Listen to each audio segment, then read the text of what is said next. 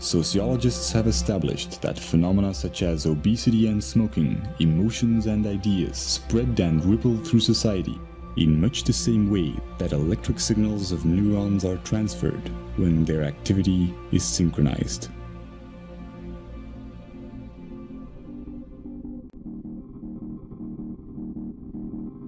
We are a global network of neurochemical reactions and the self-amplifying cycle of acceptance and acknowledgement, sustained by the daily choices in our interactions, is the chain reaction that will ultimately define our collective ability to overcome imagined differences and look at life in the grand scheme of things.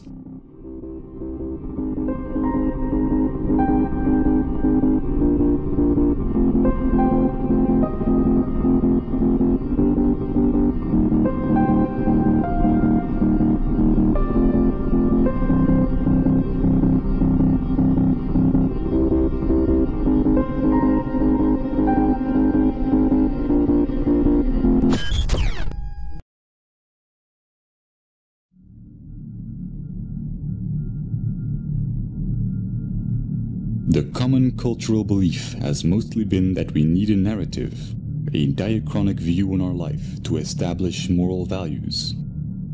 But with our current understandings of the empathic and social nature of the brain, we now know that a purely scientific view with no attachment to our identity or story yields a far more accurate, meaningful, and ethical paradigm than our anecdotal values.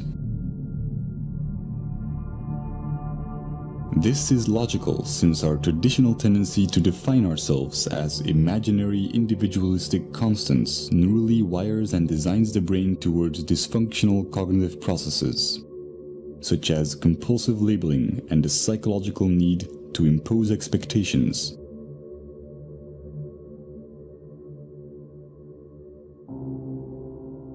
Practical labeling underpins all forms of interactions in our daily lives but by psychologically labeling the self as internal and the environment as external, we constrain our own neurochemical processes and experience a diluted disconnection.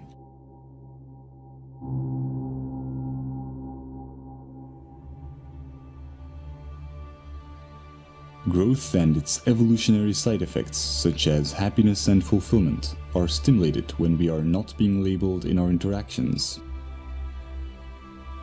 We may have many different views and disagree with one another in practical terms,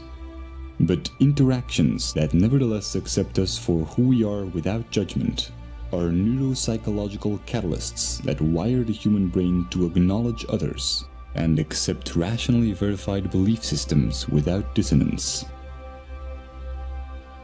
Stimulating this type of neural activity and interaction alleviates the need for distraction or entertainment and creates cycles of constructive behavior in our environment.